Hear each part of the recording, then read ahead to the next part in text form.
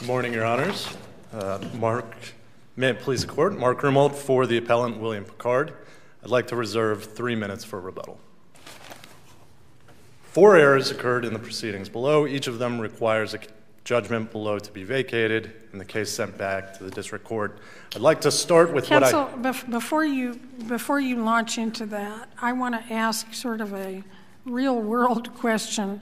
Um, the district court in Kansas has ordered the unsealing of um, the CI's uh, file. And as I understand it, that file largely overlaps with the file that's at issue here. Um, and that unsealing order is stayed, as I understand it. Where does that case stand in the Tenth Circuit? What is the time frame on that? Well, as I understand it, the district court just ordered the file unsealed and it was stayed. The government right, will right, have a but better, there, better there's, insight. but it's going to go to the Tenth Circuit, right? I th- think that's respectfully a question that the government would be in a better position to answer. Well, um, I thought that they had already done that, but maybe maybe not. They can answer that. But I guess the question for you is: Should we um, await what happens in that case? Because if you get the material there, we don't have to decide. It seems to me all the hard issues you've presented us with here.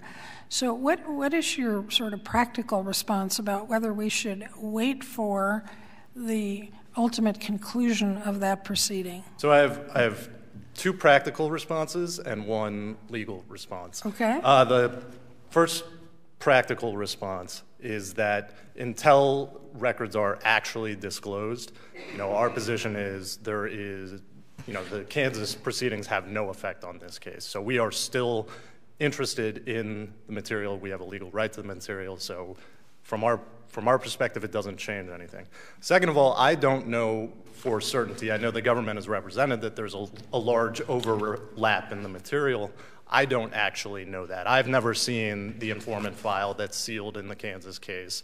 Um, all I know are, uh, you know, and I've never seen any of the files that are at issue in this case. All I've seen uh, is the government's Vaughn Index describing some of the files. I, Right. I, I think it's likely that there is some overlap, but it may not decide all the issues um, that this case presents. And then, third, from a, a legal, as a legal matter, I don't see how the unsealing would actually change the government's legal position in this case.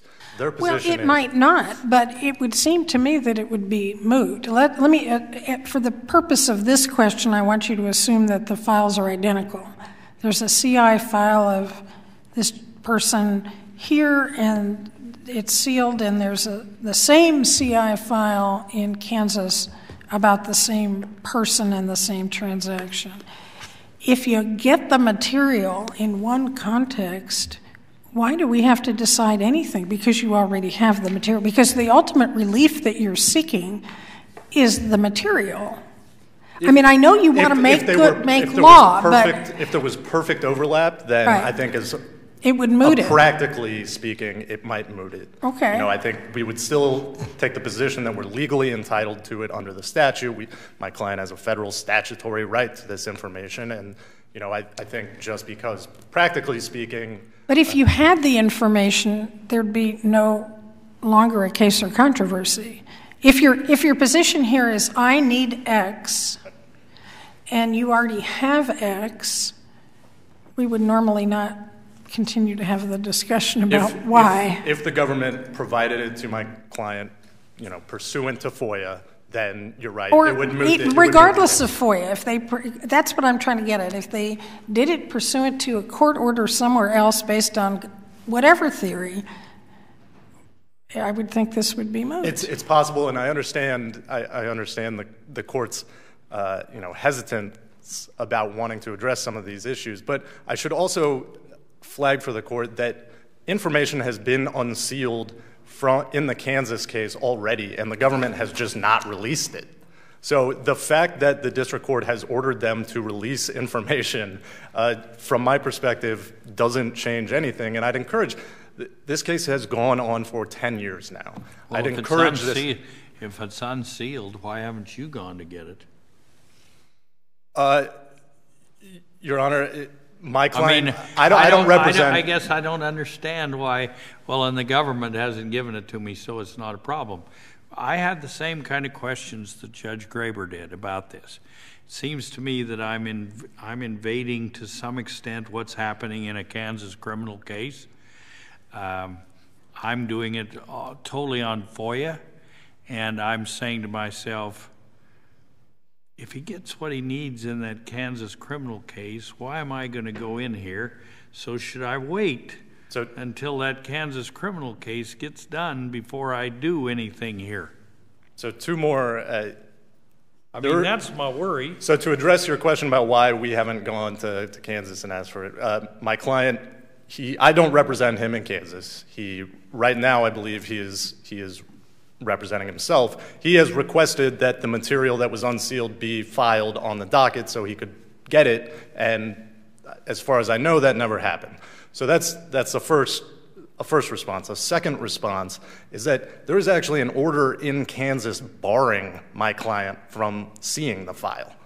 Um, so, you know, short of me taking on the representation in Kansas. Or some other pro bono counsel, and we thank or you for doing that. some- um, or some other. um, that, that presumably counsel could. But, um, you know, the, the length of time is interesting, but your client is serving a life term, and, and in some ways, this whole thing seems extremely abstract uh, in the sense of what's he going to do with it that he doesn't already know. I mean, he knows the name of the individual Well, it- already. and to say, well, I know his name, but tell me his name seems a bit odd. Um, so it, that's just me speaking about my own kind of reaction to it, but. Um, you know, I, I, I can't make excuses. I can't apologize for my client trying to avail himself of a federal statutory Oh, I right. can, I can. I completely understand the court's um, Sort of practical looking at yeah issues, the practical questions the court has. But the fact of the matter is, my client requested this information a decade ago. He has been stonewalled at every step of the way in more in two different forum fora. Right here through FOIA and in Kansas, um, the unsealing was a result of him his inability to get the information through FOIA. Um, so, if I could, I- I'd like to actually turn to, to the merits of the case. Well, that's good. Uh, it's my understanding that you're not challenging the determination that these are law enforcement records or information, correct? No, we haven't. I, So we're really talking about whether Skinner is a confidential source that's right. and whether the DEA waived the right to protect the information.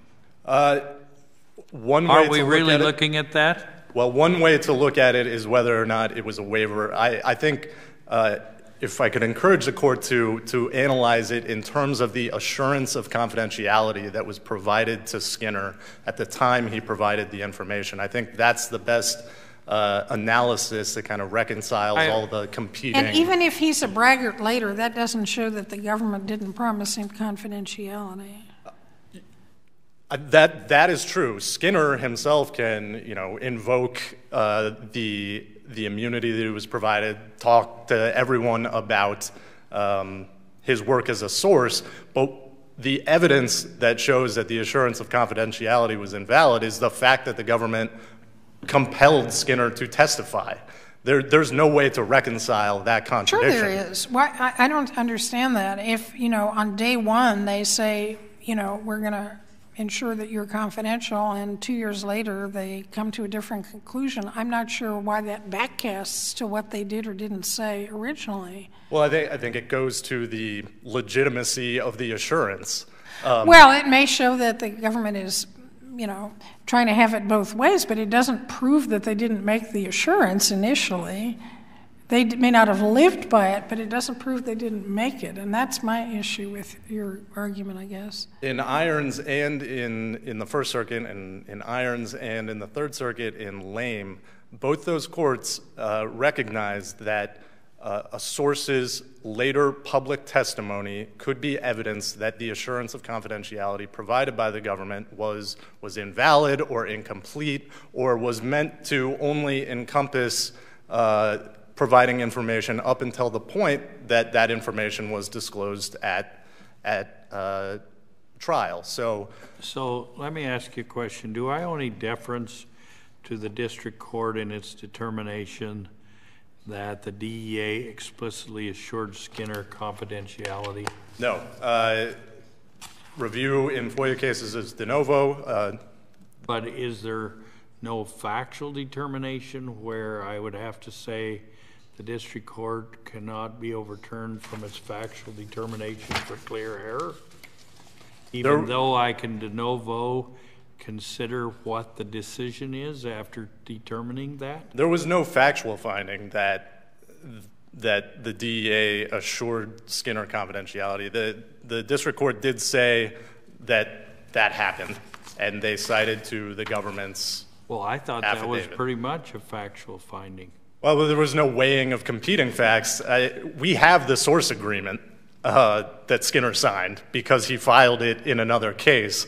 Uh, and I don't, again, I don't really know how to reconcile the fact that uh, Skinner, you know, the government said that they would try to protect Skinner's identity in the source agreement, and then the district court can find that they expressly assured him uh, that he would be uh, confidential. And I, I should also, uh, one, one other point Well, is that. so, I mean, the thing is, is that in Pickard, in the 2011 case of Pickard, uh, we said when the information has been either officially acknowledged or officially confirmed, an agency is not precluded from withholding the information pursuant to an otherwise valid exemption.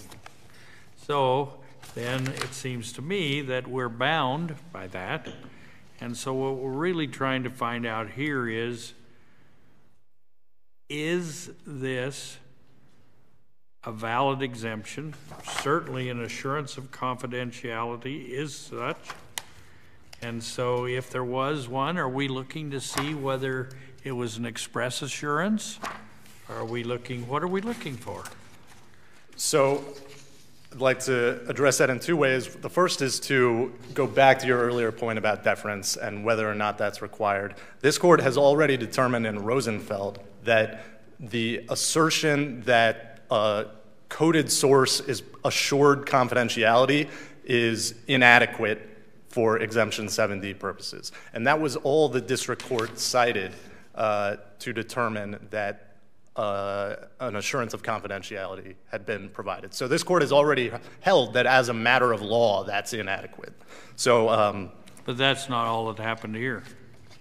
it, it is, actually. All the district court said was, uh, Well, if it's de novo review, I can look at the evidence here.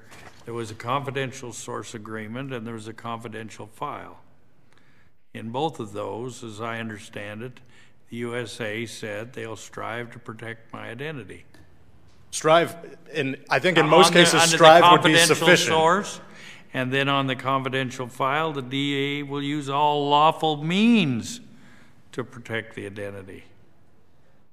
Uh, in, And in- there's also a declaration about, Yes. about coded confidential But. I guess I- I, I'm trying to figure out why that is an express assurance of confidentiality.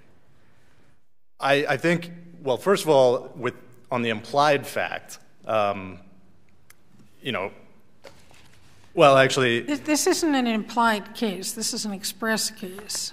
Well, I I don't know how it can be both an ex, how Skinner can be expressly assured confidentiality and then be forced to publicly testify. That's a contradiction that that It's a doesn't change seem in position, uh, but it's, I don't understand why it makes the original promise maybe not fulfilled, but it doesn't make it any less express. If I promise to bring you a cup of coffee and I don't do it, it doesn't mean I didn't promise it, I just didn't do it. It makes the promise invalid, and I, I submit that the court should not be sanctioning Oh. invalid promises made on behalf of the government. I, I see I'm I'm eating in You're my not really time. asking us to sanction the government for what they did. I don't think that's, you have any right or any standing to even do that. It's Skinner might, but you don't. What you're really asking us to do is say, because the, the person has testified someplace else, now you can release the government of its insur- assurance. And I don't find any law that says I can, and I'm trying to find that. That's why I continue to ask you these questions. Well, the law, it, both Irons and Davis in the D.C. Circuit squarely support the proposition that, that we've made here that when a source publicly testifies, that is evidence that the assurance was invalid. So Irons is your best case. Irons is, and, and I'd submit that because the government I've read does not Irons, have a case. I'm not sure that's your best case, but no, go ahead. The government does not have a case that goes as far as what they're asking this court to do. I, I am not familiar with a single case where a federal informant has testified publicly and then the government has uh, been able to withhold all of that information from disclosure. In both Irons and in Davis, uh, the government conceded and released the information that was actually disclosed. But in trial. Irons, didn't the court actually hold, and, and I may be misremembering this, that the mere fact that the person had testified publicly did not release the information under the FOIA exemption? Uh, the court held that it did not reach the hypothetical scope of cross examination. Okay, so it, it said that information revealed in public had to be disclosed, but that information within the hypothetical scope of cross examination, which is you know, far broader, obviously, um, that did not have to be disclosed. I, am well we'll, we'll give time. you some rebuttal time. We've used a lot of it. We'll hear from the government.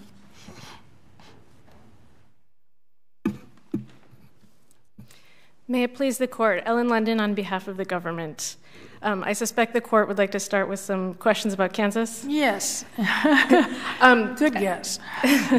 um, the issue of whether the case is going to the Tenth Circuit is, uh, as far as I know, I have not heard that the Solicitor General has made a decision yet. So we don't know if it's going to be appealed. But as of now, I think there's 30 strange, days. It's in a strange interlude where there's an order unsealing it, but the order is stayed. What it, it, stayed pending appeal, Your Honor, and uh, I believe the Solicitor General has 30 days in a criminal matter. So, so if I understand your answer to this, if the government decides not to appeal, the stay will be lifted and the material must be disclosed. Is that correct? That's correct, Your Honor. The information okay. will be unsealed. And if um, there's an appeal, presumably the Tenth Circuit, having had this bounced back a couple of times to them already, will have it again and decide whether the material must be unsealed. That's correct, Your Honor. Okay.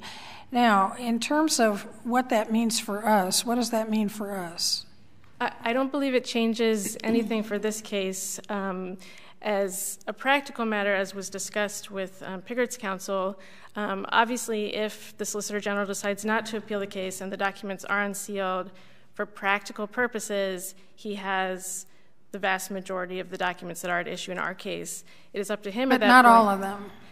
Not 100%. I, I'm happy to provide, if it's helpful to the court, um, whatever details around the edges that are the differences of the files. But my understanding, having I have not seen the Kansas files, is that they it's pretty much the same with some minor exceptions.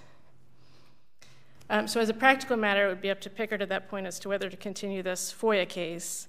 Um, from the government's perspective, you know, the case would go forward or not, depending on his decision.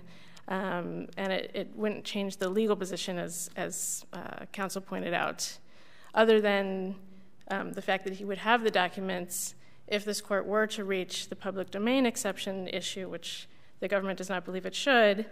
Obviously, the facts are a little bit different in terms of him actually having the documents.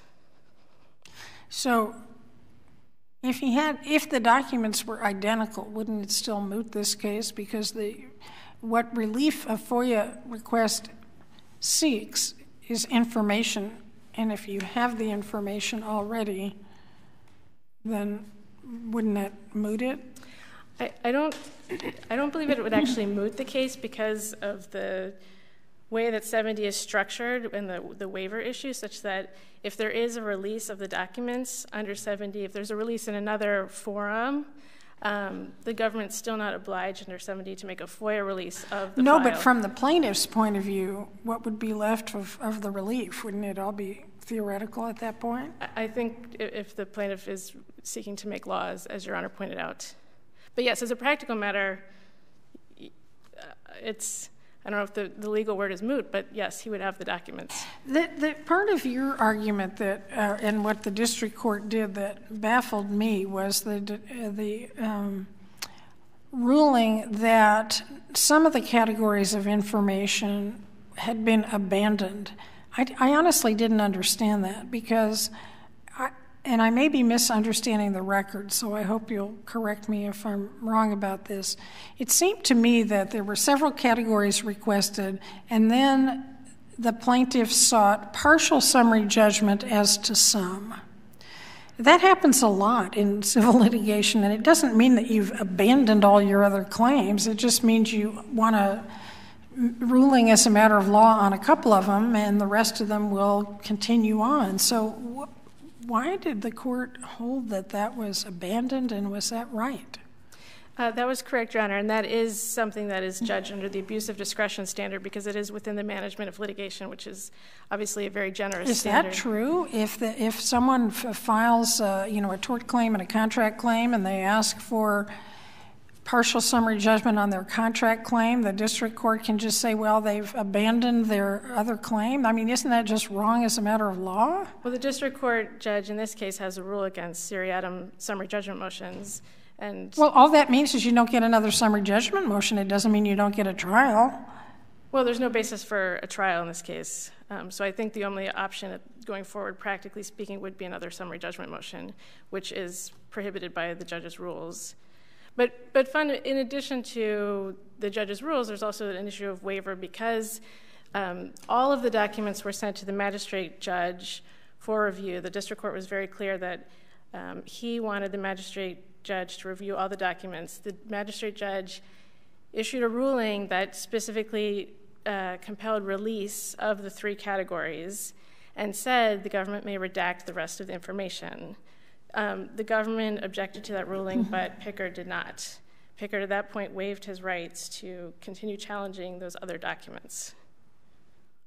Simply because on that particular situ- in that particular situation, the magistrate had made a ruling. Pickard abandons his right to challenge for the other documents. Well, the magistrate judge made a ruling as to all of the documents, and Pickard chose not to object to that ruling. Okay, you're saying the failure.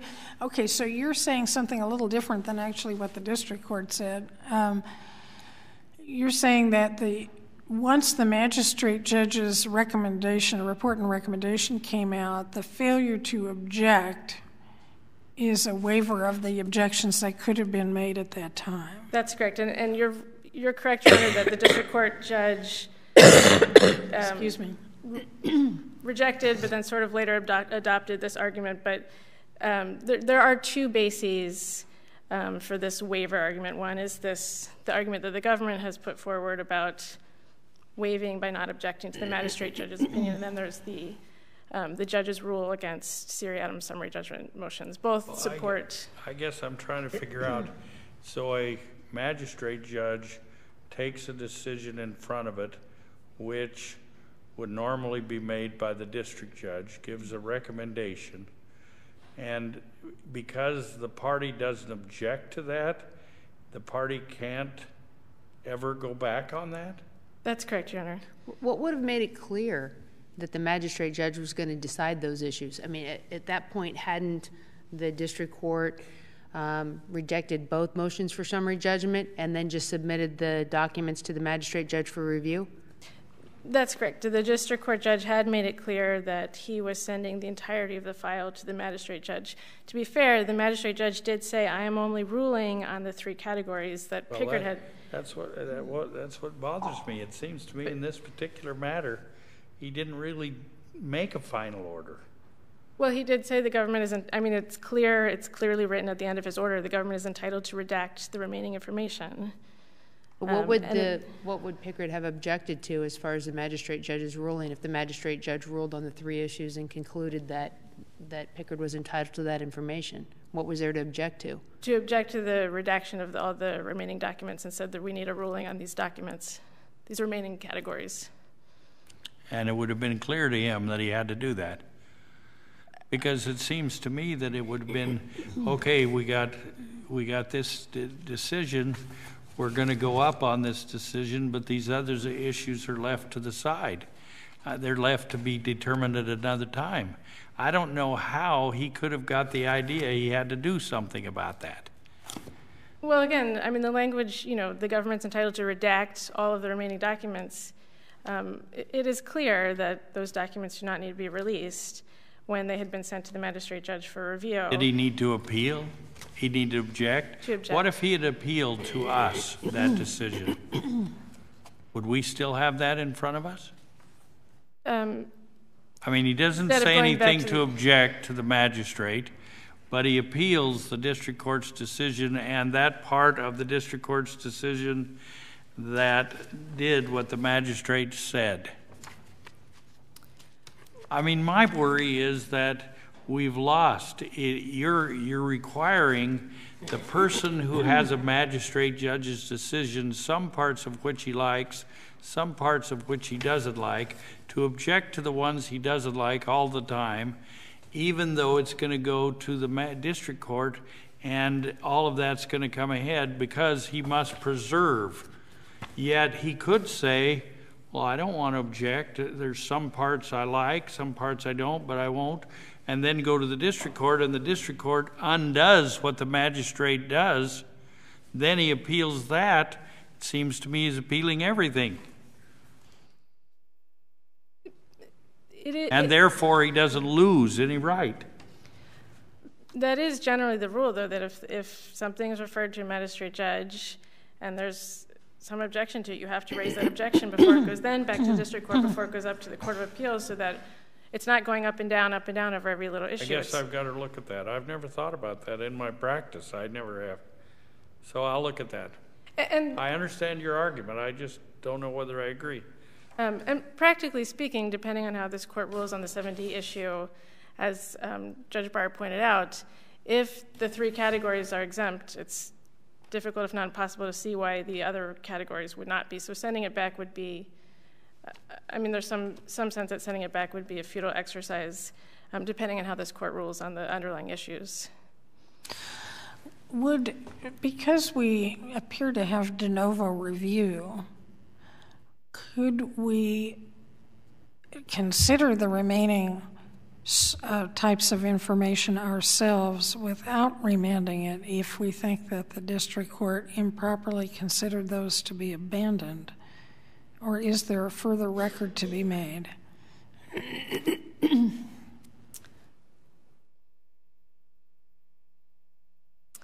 I'm thinking, Your Honor, I. Um, Yeah, I- I mean, I'm just thinking out the- loud, too. No, it's an interesting question because the appeal is of the judgment below, but it is a de novo review. I, I can't think of a. It seems a little procedurally odd to me, but I can't think of a reason Well, it does to me too, which, but I just but on the thought- other hand, wanted to know your your thoughts about it. On the other hand, it seems inefficient to send this case back yet again um, when the court has the, the documents and there is de novo review. Um, but it, it seems a little, it strikes me as a little bit of an odd procedural step. I'm happy to think about that some more and um, submit further briefing if that's helpful about whether that would be proper. So if we get to the first issue, your uh, opposing counsel says, all I got to do is look at Irons, and the decision is pretty easy. I should uh, give you the documents, or give him the documents. What do you say about Irons? Irons is also our best case, I would say. Yeah, that's what I was going to say. That's why I didn't ask him about it. I wanted you to give him the business. Um, Irons is, is uh, the, the reasoning and um, rationale of Irons is clearly supports um, a finding of no waiver of the information. That's what every circuit has held since then. Circuits that have held that there's no waiver, and if, even if there's subsequent testimony, um, Irons reserved the specific question of precise testimony, as the First Circuit said in Moffett. So Irons did not reach the question. Um, but again, its rationale, its reasoning um, squarely support the idea that there should not be a waiver of 7D.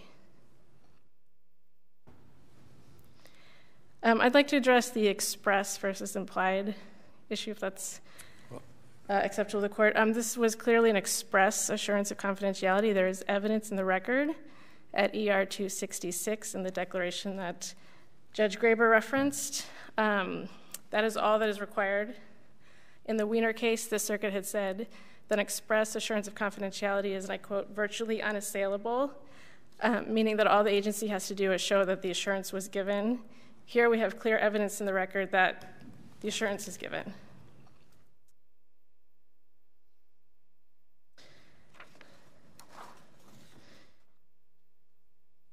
I would also note um, counsel brought up the Rosenfeld case. Um, the Rosenfeld case is distinguished here because in Rosenfeld they found there was not actually evidence put in by the government of the assurance of confidentiality, which again we have here in the record, um, which is supported by the Halpern case out of the Second Circuit. Um, that all you have to do is put in the exact kind of information that was provided here.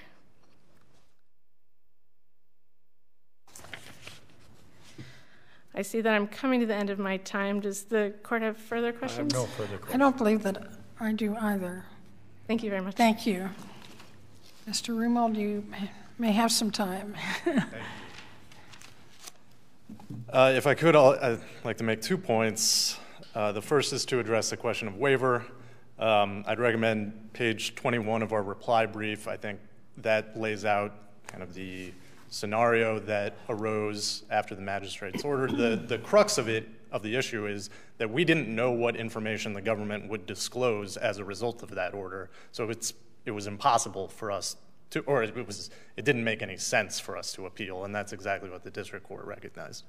Um, but I, I'd like to actually spend the majority of my time talking about Irons and. Before you get to that, what is your response to my question about whether, if we agree that there was no abandonment of the additional forms of information, whether that's something that we can or should decide de novo now? Well, so the court absolutely should decide it de novo. It's um, whether I take a question to be without, whether or not we could remand. order information disclosed as a, you know, well, whether there's a remand required if we were to agree that those issues were not abandoned. Is a remand required or not required? I think if the court determines the uh, that no withdrawal occurred of the of the claims, then this court could absolutely order the information disclosed if it wanted to remand in order to allow the district court to kind of parse what. And if we disagreed with you, could we order could we order it not disclosed? I mean, I, you need to think about both possibilities. I'm really asking a procedural question, not a results question. The, the court's review is entirely de novo. So we could do it. Um, the court could say yes that we had withdrawn our claim to that information. No, you, you misunderstand my question. Oh, it, if we agree with you that the claims yeah. are still alive, yep. are we required to remand an analysis of that in the first instance to the district court, or can we take a fresh look here, regardless of whether we end up agreeing or disagreeing with you on the merits yep. of the claims? Because there are so many different exemption claims at issue, and we've only briefed exemption 7D, um, you know, I, I, would submit that the court should probably remand it to the okay. district court so that we can brief the application of the exemptions to the different categories of information, okay. and then the court can reach rulings on that. All right, now for Irons. We'll give you um, a minute to wrap up on Irons. So with Irons, uh, Judge Smith, I, I, know you submitted or you said that it would be easy to look at Irons and decide this case. I don't mean to suggest that it would be easy. Um, what I think is important to know is that the government None of the cases that the government relies on go as far as, far as what the government is asking this court to do. Um, what, what I think the best way in, in kind of synthesizing and making a coherent, and admittedly the cases are a little uh, confused, I think, in some of the rationales, but I think the best way to make a coherent um, analysis of all of them is looking to Irons. Irons holds that uh, exemption 7D applies when uh, a, a source testifies at trial. The government can withhold information that was not actually disclosed at trial, but that was within the hypothetical scope of cross examination. That hypothetical scope of cross-examination is not what we're asking for here. We're asking only for the information that was disclosed at trial and that is also contained in withheld records. So that is entirely consistent with Irons. It's also, uh, I'm sorry, my, um, I'm, You're I'm well over your my time, so if you'd, if you'd wrap up, that would be helpful. Yeah, I, I'd, I'd ask the court uh, not to delay a ruling on the basis of the proceedings in Kansas, and I'd ask the court to, to find that Exemption 7D does not apply to information that was publicly disclosed at trial. Thank you. Thank you, counsel. The case just argued is submitted, and uh, we want to express our thanks for taking on this issue pro bono. The pro bono counsel are very helpful to the court, and both of you argued well, and we appreciate it. So we are adjourned. All right.